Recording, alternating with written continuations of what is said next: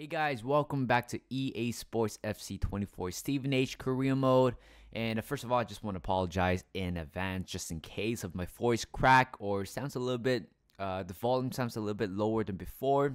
Um, I'm experiencing some sort of sore throat right now. I don't have COVID, so I'm not quite worried about that. It's the fact that I can't really project my voice, which is a good thing. Sometimes I just kind of shout towards the mic and uh, yeah, hopefully I'm not going to give you guys any unpleasant ear bomb or eardrum bomb, however you guys want to call it. So, right here, the month of October coming to an end right now. Let's look at the calendar and see what kind of games we're playing today against Rangers in the first game in today's episode away in the Europa League. Again, I feel like right now we might be, I think after winning this game, if we can, if we win this game, then I'm sure we're going to qualify for the round of 16 uh, or at least to the next stage. Chelsea next. Uh, Brighton at home, and we're gonna finish this episode off with the uh, Rangers at home as well. I mean, when you look at Group C, it literally looks perfect for us. Of course, right now Rangers is currently what sitting in second with two points, but if Split and also Lorient, uh, those two teams drew their respective game, then I think we have a very, very highly likely chance to qualify. But again, I think we need to win two more games in order to be sure to confirm whether we're going straight to round of 16 or the preliminary round. I'm going to rotate the squad relatively heavy today. So Fernandez and goal, back four, we got Sirkin, Kairodia, Humphrey, Schofield in the middle. We got Mainoo Miller, Miley, and central attacking midfielder we have Jack Hyde up front. We got Hayes and Babic. I believe this is this might be the first time for both of them to start together as the newly duo. And on the bench, I still keep a relatively very strong uh, bench just in case if shits happen. So Arthur Bruce as the striker, Barlow, Elag, Sire Emery, McNeil, Spencer, and Kirk. Let's hopefully win three games out three in the Europa League. I'm not quite sure what happened to my throat. I recorded the episode yesterday. I think after that, I felt fine. But five minutes later, oh boy, it just went really horrible. It, it hurts a lot to the point where I thought it was some sort of COVID symptoms. But I did do a bit of testing and I'm fine. So I'm not quite sure what's going on. Hopefully my voice will be back at one point, hopefully tomorrow. If not, maybe in a few days, but you know, sometimes sore throat just kind of kills you. Oh, that's a beautiful ball to Sirkin on the left here. Right now, just need somebody in the middle. That's a very good interception by one of the Rangers player. Comes Hayes. We just need a, you know, finding our first chance here if we can. Here comes Babic. Good turn. Good turn as well to Miller. He's onside. And we have taken one goal up right now. I don't want to... You know, actually, I'm very excited. I'm very happy scoring. But the voice right now, I just can't. I'm just kind of restraining it. I'm just trying to restrict the focal movement. Or else it's going to kill my throat at one point. But that was a very good play. From the middle, up front as well, Jack Kai. That was a very, very good turn. And Miller, what a great finish as well. Here comes Miller. Jack Hyde, first time finish, and we have made it 2 0 after scoring the first goal. I believe it's only, what, three minutes apart? Guys, I'm telling you guys, I feel like we can genuinely go all the way through in the Europa League. I genuinely feel that. I mean, yes, I know we've been getting some relatively easy draw in the cup in the cup features or in the in the group stage, but the fact that the way how we play it is just phenomenal at the moment. Whether we're playing our first team or second string team, we are looking very very good. From Sirkin, Jack Hyde to Miller, beautiful play. Come on, Babic, I want you to be on the score sheet. If not, clears away. Here comes Jack on the left side. Need a good cross in the middle. Heads it away by Rangers player. Last one minute before the end of first half, we have been pretty much dominating Rangers, and that was a very, very poor touch. 30 seconds left. Here comes uh, Schofield, but running out of space. Maybe just spun around just a little bit. We don't have tall players in the middle, but it is going to be halftime. How is a player with that caliber getting knocked off just like that? Chris Humphreys. He is six foot six somehow getting one of the smaller Rangers player getting knocked away from the ball was just really, really weird in general. We were one goal, well, they got one goal back. Like I said, 2 0 was the most dangerous scoreline. If we don't try to score another goal very soon, and at one point we're going to shit our pants. Comes Babic to Miller, cuts inside, goes for it. Good save by Callagher, the former Liverpool player. Clears it away, and Humphreys didn't quite want to deal with it with the first time. Doesn't matter. Let's go again. 55 minutes in. Here comes Miley. Oh, good turn. First time. Oh, another good save as well. Here comes Jack. To Miley. Back to Jack again. So much space. Smash it. 65 minutes in. Makes a 3-1. What a great finish right there by Jack Hyde. I'm happy I'm putting him on more uh, nowadays. Again, he still has his potential on it. And you know what? At the same time, I'm quite happy nobody tried to bid for him because if you were if you were have to ask me back in the summer, I might have probably cashed in on him. But I think with this level right now, with this level competition, with this level as well, I just don't want to lose him. Here comes Bruce. That was a little bit lucky. To McNeil on the left. Miley's there, and we made a 4-1. Yes, I made four substitutions after the third goal, but you know what? It's all down on those players as well. McNeil's nice to see him to get a little bit more minutes in the uh, in the cup competition or in the in the Europa League. Certainly deserve it. I mean, he's been one of the players kind of rising through the rank, even though right now he's being kind of being pushed out from the packing order.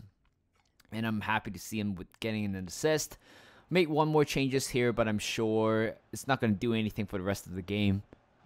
And the game ends right here, I believe so. Blow the whistle, ref. I mean, what's the point of playing it on? Thank God, even though it's only one minute, or there's delay to one minute to 15 seconds. But yeah, three wins out of three in the group stage, and I'm sure, I'm very convinced right now we're going to be qualified. I'm not quite sure what's the other results going around in the other match for Group C. But right now, looking it, it, looks pretty nice for us, and I really hope we're gonna qualify as first place and hopefully win the competition if we can. Looking at Group C right here after the victory against Rangers, I mean, not quite ideal. Split has won their game against FC Havre. So they're five points away from us, but I think right now we just need to win one more game in order to be uh, qualified, which is a very good thing. So I can start putting on youngsters or reserve players or second strength player in that competition. You know what? Just trying to experience some of those players. Checking the Premier League, we're playing against Chelsea next. They're sitting at 10th right now. Of course, us and uh, Chelsea have a game in hand, so which is also a good thing for us. Arsenal have dropped points against Brentford. Uh, right now, they're sitting at first, 26 points. If we beat Chelsea in the next game, then we are going to be one point clear and sitting at the top of the league table. I won't be making any changes compared to the default squad. It is going to be same starting 11 as usual. Ziegler and go back for got Spencer, Pacho, King, Kirk, in the middle, we got Mainoo, Elak, Sire Emery, Vanner. Up front, we got Van Duven and Bruce, and you just love to see Van Duven is sitting at 84 rating right now, looking, looking very, very good. The fact that both of them, the strikers, I signed them, or at least I signed Van Duven two seasons ago, 74 rate, I believe. So I wasn't quite sure whether if I should sign him or not because of his size, but even though size do matter in a way uh, when you play up front the fact that those two, these two up here, just work perfectly. I mean, look at the other Bruce right now, 88 rated. I'm telling you guys, at one point he's going to hit 90 by the end of the season. But look at his stats as well. Just completely amazing. 87 pace, one of the fastest player in the game as well.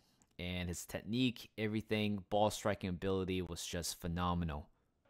Guys, let me know down in the comment section below whether if you believe this Pochettino Todd Boehly Chelsea project in the next five years because right now I don't believe it at all. They lost to Middlesbrough the other day and it's a game where it's very easily for them to win, uh, to go to the final and potentially winning a trophy for them. But certainly I do not want them to be because again, uh, being as an Arsenal fan, you just hate Chelsea being happy. But here comes Elak.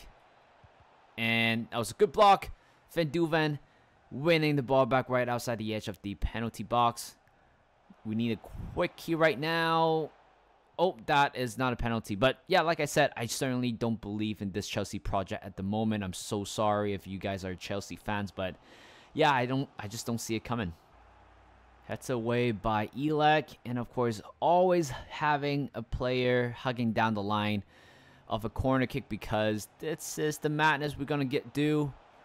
Bruce, uh, oh, good save, Emery, get there. I literally pressed the shoot button. The game just doesn't register. Oh, that was a good tackle by Emery. Finding Van Duven, cuts in the middle to Fanner, heads it away. And we still have the ball right outside the box. Quick one, two. Off the bruise. Oh, I thought he scored. From that angle, I thought he scored, but that was a very well played by Stevenage Oh, Arthur Bruce. Van Duven. Oh, oh my God. Just, just get out of here. Just get out of here. How have we not scored so far in this half? I've been trashing about Chelsea, but I'm not getting anything in return despite having tons of possession. Across in middle, heads it away once again. And here comes Van Duven. To Vanner. To Bruce.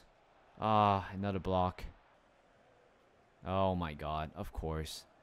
That one chance that Chelsea is having right now, it's not it. Enzo gives it to number 17. Good block. And ricochets off the player. The goalkeeper and Enzo Fernandez have scored. Wow. We have been controlling throughout the whole game. Then just one counter attack, one defensive mistake, and the game it's literally flipped right now. One goal down. Here comes Chelsea again. Oh my god, they've scored. They've scored again. 2-0. 2-0 for Chelsea. And this is not the scene I want to see. I don't think we're going to win this game at all. Oh, wow. Wow. 15 minutes in, Chelsea have scored three goals. And there's only one player, or one guy to blame throughout that, what, 15 minutes. It's just me. Poor defending, giving the ball away, not taking now chances, and with three goal down. Well, there's a chance right there in front of us to take all three points today especially in the first half. I really thought we were going to win it based on that performance, but that spark of 10 minutes from Chelsea have scored three goals in 10 or 15 minutes. And right now we're still sitting a second. Nah, guys, that first half performance convinced me that we're going to be at the top of the league table after that game, but right now sitting a second. Wow. It's a big opportunity miss for us. So, well, there, there's I, I can't be sad about it because uh, the next game we're playing against Brighton, sitting 18th with seven points. I remember I think they were relegated at one point, right? This is season two or season three. We play against them. I was completely shocked by the fact that they got relegated. Uh, November is here, so why not? Let's try to do some uh, email here. Barlow received transfer offer. Ooh, like that's the thing. I really don't want to let Barlow go. 75 rated already. I mean, probably just going to block the transfer right now. If I had any plans for him in the future, I will certainly alter that. But look at the monthly report from my hometown, uh, Canada. Tremblay, not going to make the cut. Matthew Barnes looks pretty good. But his value, 375k, I'm sure he might be in the wrong position uh, five foot six as well. I feel like in this game we have been getting quite a bit of a shorty. I don't think uh, the majority of the players that we have scouted are above six foot. Maybe a few of them, but again, oh Frankie Wilkins. These three players have to be called up at one point, uh, or at least these two, uh, Patrick Barry and also Frankie Wilkins. Both of them are certainly going to get called up, hopefully by the end of the season. But looking at Matthew Barnes, ooh, that's the thing, right? 56 rated. He might be in the wrong position. I strongly believe so. He doesn't look like a winger to me based on those stats, especially those acceleration sprint speed. He might be a central attacking midfielder. Let's see how long it's going to convert him. Takes two weeks. All right, you know what? Let's give it a go. And I'm sure if they have a pretty good ceiling of their potential and their overall rating is not reflecting on it, I'm sure they're in the wrong position. All right, third game. Let's try to bounce back after that horrific performance against Chelsea. I know, like I said, Brighton sitting at 18th, but um, yeah, I don't want to look them down in a way, even though they're a pretty good team. So I still make two changes. Jack Hyde deserved a chance after that beautiful display against Rangers in the last Europa League game. Miley coming on as well. Oh my, here comes Brighton. Oh, they made it look so easy. Three minutes in, we are a go down. What a start for Brighton. What a horrific start from Stevenage It was just the simplest of play, letting them down, driving down the left side. Uh, but the fact that Lee Young King getting juked just like that in front of the box, unacceptable. Comes Riley Kirk on the left here. On the right, my bad. Oh, seeing Van Duven get there. Oh, beautiful cross.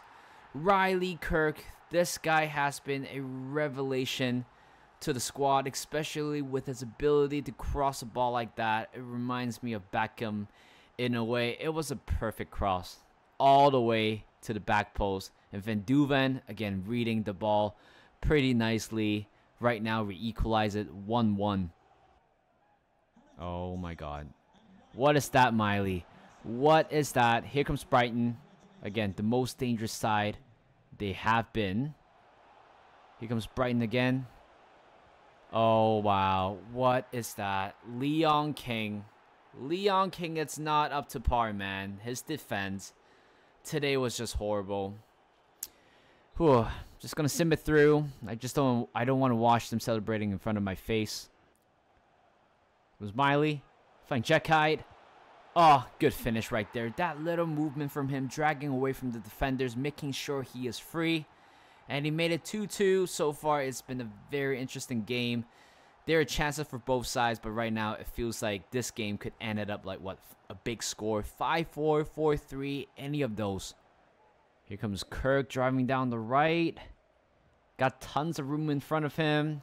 Bruce finding Van Duven one-on-one with the goalkeeper. He's not coming out and that's a chance for us to take 3-2 and we have regained the lead after you know I've been a roller coaster performance right now our strategy is to keep scoring goals oh here comes Brighton again in the box you don't want to get close to them oh that was that was bad from one of the defenders here comes Brighton holy crap like I said you just can't, if you can't get rid of the ball in that what 12 yards, 18 yards area, they're gonna they're gonna they're gonna capitalize you, and they did.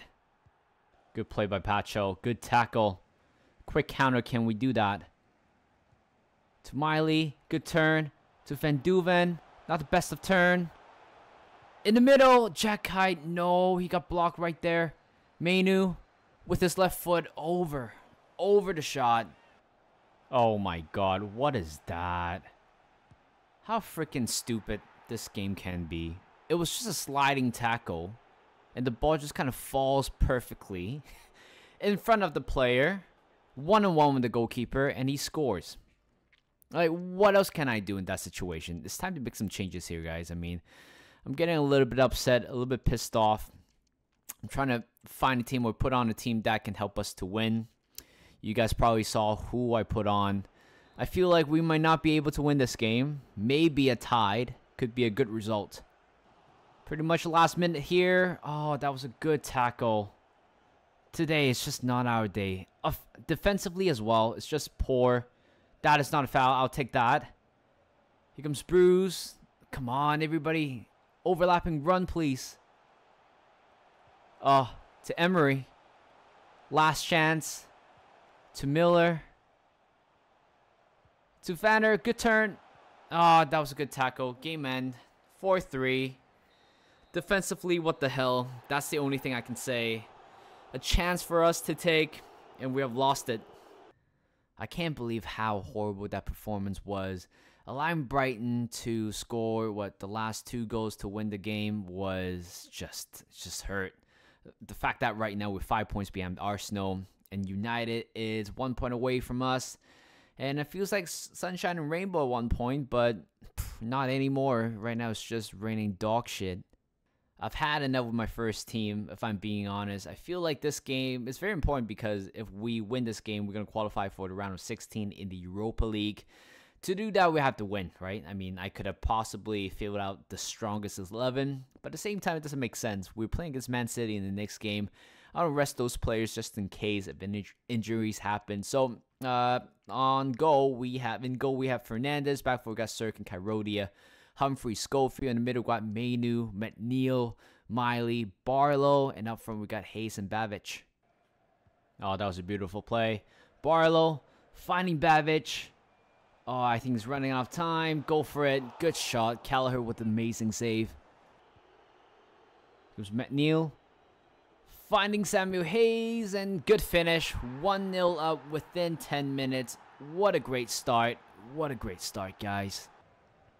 Here comes Miley. Finding Barlow in the middle. Keep on going. To Samuel Hayes. And he makes it 2 nothing. And I think Samuel Hayes is the top goal scorer for the club right now. Despite only playing the cup competition and also in Europe. But this guy, that's the thing. It's a dilemma because I think he's pretty pretty good. But when every time he starts in the league, he's not giving me anything. But at the same time, you want to give him a chance to start. But to start in domestic cup or in Europe, he always performed. Oh, Barlow, what have you done? Score first, go for the club, please. Oh, what? What? How can't you miss that? It was the simplest of finesse shot, and he just curls it out wide. Oh my god, look at them. Oh, Rangers getting their first goal to claim. Wait, what? Was it a penalty just now? Well, it doesn't matter. it doesn't matter because we conceded. And, uh, yeah, not a fun score line. Could have easily scored the third goal earlier on by Barlow if he didn't mess that up. Oh, no. Here comes Rangers. Oh, good save. Get it out. Holy crap. What a save by Hernandez. Maybe a counterattack here, perhaps, to try to kill this game off. He's offside. Oh, yeah, he is well offside. I think it's time to make some changes here. But that was a great save by our veteran goalkeeper, Fernandez. And I definitely need to add a bit of intensity at the back and also up front as well. Today it has been a shit show of this episode, so let's try not to concede in the last minute. Last few minutes here. Here comes Rangers. Not the best cross from them. Can we clear the ball? Yes, we can. Here comes Riley Kirk. Go on. And he's running out of space. To Jack Hyde. Oh, come on. Somebody support him. I mean, we won this game already. Uh, Hayes, no. That's fine. We won the game. Blow the whistle. Thank God two wins in this episode, but those both of those wins are quite crucial in the group stage as well. And I'm sure right now we're qualified for the round of 16 of Europe. I'm sorry that I can't produce the most exciting gameplay for today's episode. Again, I'm still feeling quite sick right now. No matter how much I try to rant or show my excitement, my throat just can't let me. But let's look at Group C. I mean, we qualify right now. Job is done. No matter what, we will be qualified as the first place team. So we go we're going directly straight to round of 16. So in the next two games, it's going to be a, a dead rubber match for us at least. So, uh, but in terms of second place, is any team up for grabs between those three? So looking at the league right now to sign it off five points away uh, from Arsenal. Could have easily gotten. I mean, we could have easily gotten those six points if we play better again. I don't think we were horrible, but it's just that lapse of you know misjudgment, bad plays, just cost us those two games. We we could have probably get a point at least, or maybe if not winning one of those three games, but. It is what it is. Next game against Man City. Uh, it's going to be a tough one. I mean, we did have a pretty good record against them last season, but this year it's a completely different story. We just gotta stay focused right now. So thank you guys for watching. Hope you guys enjoyed this video. Like this video, subscribe to my channel, and I'll see you guys in a bit.